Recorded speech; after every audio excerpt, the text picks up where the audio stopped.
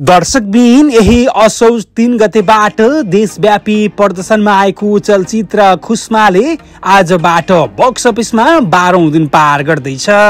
आज बाह्रौँ दिन यो फिल्मको अकुपेन्सी अनि आज बाह्रौँ दिन यो फिल्मले कति गरस कलेक्सन गर्न सफल होला त आज हामी यही विषयमा चर्चा परिचर्चा गर्नेछौँ। भिडियोलाई अन्तिमसम्म हेरेर साथ दिनुहोला। साथै यस च्यानलका भिडियोहरू मनपर्छ भने हाम्रो च्यानललाई सब्सक्राइब गरी हामीसँगै जोडिनुहोला। अशोक थापा मगरको निर्देशनमा तयार भएको चलचित्र खुसमाले आजबाट बक्स अफिसमा बाह्रौँ दिन पार गर्दैछ। यो फिल्ममा नायक धीरज मगर नायिका उपासना सिंह ठकुरी लगायतका कलाकारहरूको अभिनय रहेको चलचित्र खुसमा बक्स अफिसमा सफल चलचित्र साबित भइसकेको छ। नेपाल अधिराज्यभरि नब्बेदेखि सय हलहरूमा प्रदर्शनमा आएको यो फिल्मले हलहरूमा पनि राम्रै सोच पाएको छ अनि दर्शकहरूबाट पनि राम्रो रेस्पोन्स पाइरहेको छ।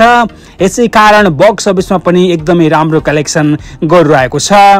तिन दिनमा दुई करोड पचपन्न लाखको गरज कलेक्सन गरेको यो फिल्मले पहिलो हप्ता पार गरिसक्दासम्म चार करोड पचपन्न लाखको गरज कलेक्सन गरेको थियो भने चलचित्रले हिजो एघारौँ दिन पार गरिसक्दासम्म लगभग पाँच करोड बिस लाख हाराहारीको गरज कलेक्सन गरेको खबर प्राप्त भएको छ।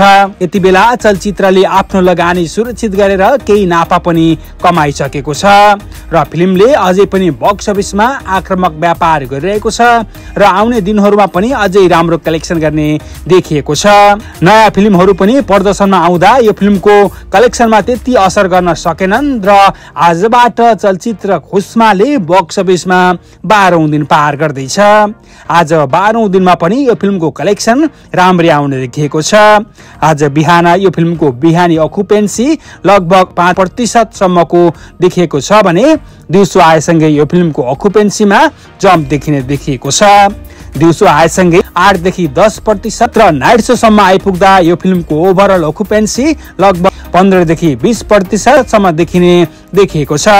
यसै कारण आज बाह्रौँ दिन चलचित्र खुसमाले बक्स अफिसमा लगभग तिनदेखि पाँच लाख हाराहारीको गरज कलेक्सन गर्ने अनुमान गरिएको छ। चलचित्र खुसमा बक्स अफिसमा सफल चलचित्र साबित भइसक्यो। अब चलचित्र खुसमाले लाइफ टाइम कलेक्सन कति गर्ने हो त्यो त हेर्न बाँकी नै छ। दर्शकबिन तपाईँहरूलाई कस्तो लाग्यो त प्रदर्शनरत चलचित्र खुसमा? कमेन्ट बक्समा कमेन्ट गर्न नभुल्नुहोला। साथै यस च्यानलका भिडियोहरू मनपर्छ भने हाम्रो च्यानललाई पनि सब्सक्राइब गर्न नभुल्नुहोला अनि साइडमा रहेको बेल आइकनलाई पनि प्रेस गर्न नभुल्नुहोला हस् त अहिलेलाई बिदा चाहन्छु फेरि अर्को भिडियोमा भेटौँला। धन्यवाद जय नेपाल।